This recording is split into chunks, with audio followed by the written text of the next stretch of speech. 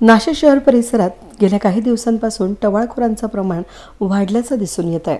असाच एक प्रकार सातपूर अशोकनगर परिसरात घडल्याचा उघडकीस आला आहे.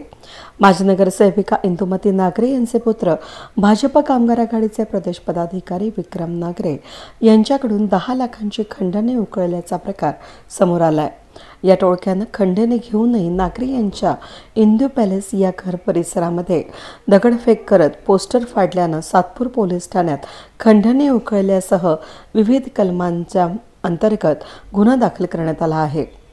या दरम्यान विक्रम नागरे यांनी सातपूर पोलीस ठाण्यामध्ये तक्रार दाखल केली असून गेल्या वर्षभरात काही सराईत गुन्हेगारांनी पिंपळगाव बहुला शिवारातील शेतातून घराकडे येत असताना जीवे मारण्याची धमकी देत खंडणीची मागणी केली होती.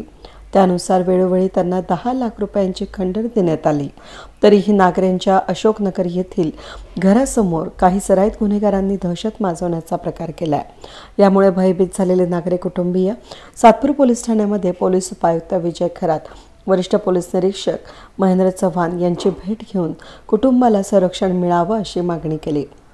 हुल्लडबाजीचा सीसीटीव्ही फुटेज देखील हाती आला असून एकाच महिन्यामध्ये दुसऱ्यांदा भाजपाचे बाहुबली समजल्या जाणाऱ्या तसंच भाजपाच्या माजी मंत्री माजी प्रदेशाध्यक्ष यांच्यासह नेते मंडळींच्या निकटवर्तीय मानले जाणारे नागरे यांना थेट धमकवण्याचा प्रकार उघडकीस आल्यानं पक्षाच्या नेते मंडळी तसंच कार्यकर्ते यांनी देखील आश्चर्य व्यक्त केलंय. पोलीस आता या प्रकरणावरून काय कारवाई करतात याकडे आता सर्वांचं लक्ष लागलंय. वेद न्यूजसाठी प्रतिनिधी कमलाकर तिवडे सातपूर